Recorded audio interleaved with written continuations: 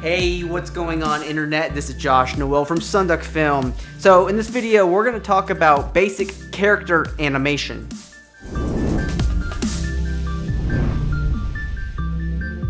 Alright, so this is a very interesting topic because there's a few ways you can animate these cartoon characters and I'm to show you two ways in this video on how you can easily animate your cartoon characters.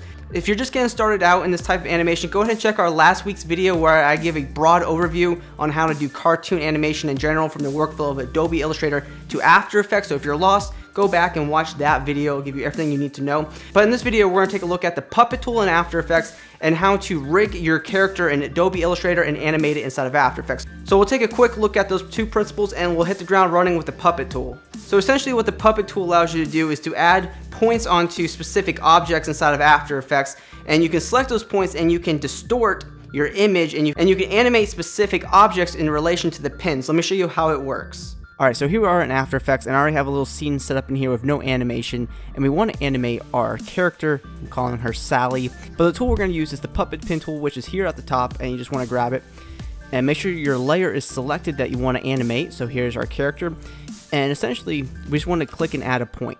So this is essentially a pin, and we can move our object around the pin here. Now, what we need to do is add multiple pins here, so let's add maybe another pin here to the shoulder, and we click here and see, okay, we're getting a little bit of control here, but still not enough. So what we have to do is just add a few more pins to the side of the body so we know, hey, this part of the body is separated from the rest. So the arm and the hand is separated. And you see now we get a little bit more control, but still you get animation up here. So what you want to do is continue to add pins to say, hey, listen, this is all independent from my hand.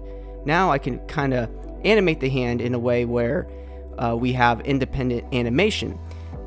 So what I want to do here is animate our hand. So we'll come down here to the mesh one and what we can do is select the pins here and we can continue to open this up and we'll see which ones are selected. So this is pin one and this other hand here is pin 15. And maybe we want to put this hand on our hip so we can kind of animate this inward here like this and you can see the hand just moves in like that no problem. But what I'd like to do is maybe add another point on the elbow because you know usually you want to add points where there's actual like where the movement is controlled from like your elbow right? So we'll come back here to the first frame and we'll add a point on our elbow where that would be at. And then we'll come here to the end of our animation and have this bow out a little bit.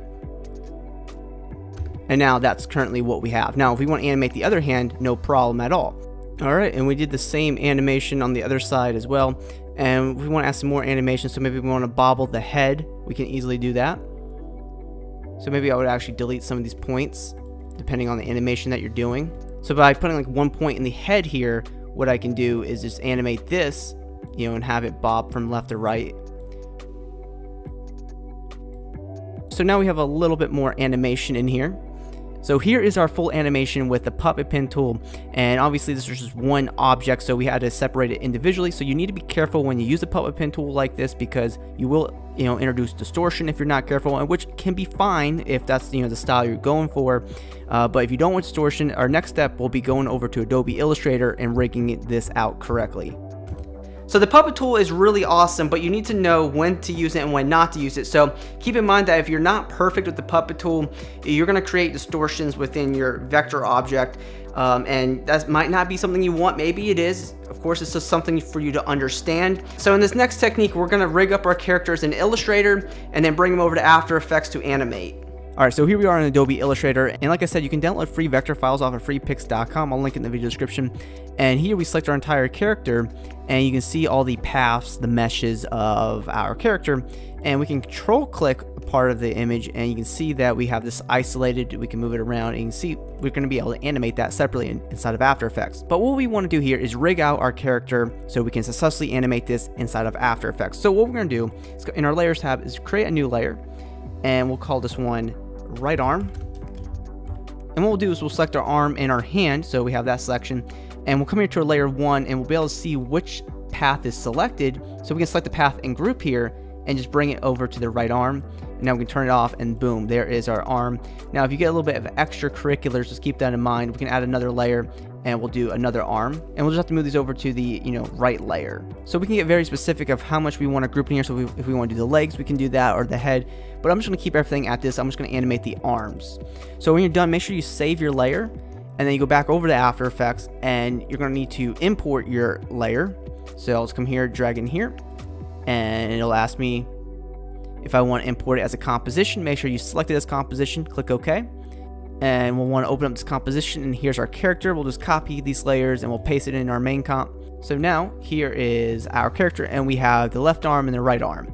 So here is essentially the same thing. I mean, we right click this and we have the independent control of it, but we don't have independent control over the hand and the arm. So in order to have that, you need to right click your layer, click on create and go to create shapes from vector layer. Now we open up our shape layer, we go in the contents, you'll see there's two groups here. This is the arm and this is the hand. So there's a couple schools of thought here. So we have two objects that we can independently animate the arm and the hand, but we got to talk about the anchor point here. So Essentially, the arm it just needs to rotate the entire object together with the hand, so we can just use the basic transform tools on the layer to rotate it. So we'll grab the pan behind tool, and we'll move our anchor point to the top here where it needs to, you know, rotate around this area. And we'll want to move the anchor point for the hand, which is group 2, and we'll want to move this towards the wrist. So now we'll be able to independently animate the hand, and then the entire selection here will be, you know, animated together. So we just hit R on our keyboard for rotation, we'll add a keyframe for rotation, we can move forward and we can rotate this upward a little bit. So now we have a very smooth animation of our arm. And then if we want to say animate our hand, we can go into group 2, go to the transform group 2. We can add a keyframe for rotation, rotate our hand if we want. And now if you're layering techniques, you can animate your layer in pretty much any way. The only thing you're limited by is with how many meshes that you have. So you gotta keep that in mind. So the less meshes means less control. So you know, if you want a little bit more control in the elbows or whatever, you're going to have to make sure the vector object has that, you know, versatility when you're doing this type of animation. But, you know, this is a very basic overview of how to do character animation and you know how to you know manipulate your character so so you have a couple tools at your disposal to animate your characters if you're not really into the animation thing and you don't have a lot of time to work on this, go ahead and check our links in the video description. The preview you're seeing right now are from VideoHive and they have hundreds of these pre-made cartoon, you know, character templates and they are After Effects templates which are already animated for you so you can just drag and drop, you know, scenes together. So you can drag and drop, you know, specific scenes and you can have your entire composition done within a few minutes compared to hours of work. So go ahead and keep that in mind if you're on time crunch or don't have patience for this type of work. Most importantly, if you did enjoy this video, be sure to subscribe to our channel, Sonduck Film. We post, you know, two post-production tutorials every single week right here. Hit me up on my social media networks. Those links are in the video description. And always, be creating.